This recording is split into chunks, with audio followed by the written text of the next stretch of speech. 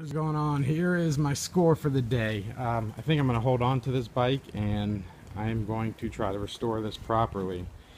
Um, I got rid of some of my older vintage bikes like the Mud Bug, but this one is a Speedway, I believe, and this is going to be the next project. So you can see where someone cut the motor plate. They said they tried to fit a torque converter, and yeah, it should still be okay. I'll probably use the uh, jack shaft with this, but good score. Traded a Baja Warrior frame for this. Tires are in great shape. Um, this is gonna be a nice little project, vintage one. Hell yeah. Seat needs to be redone up, but we'll get this baby looking nice. Yeah.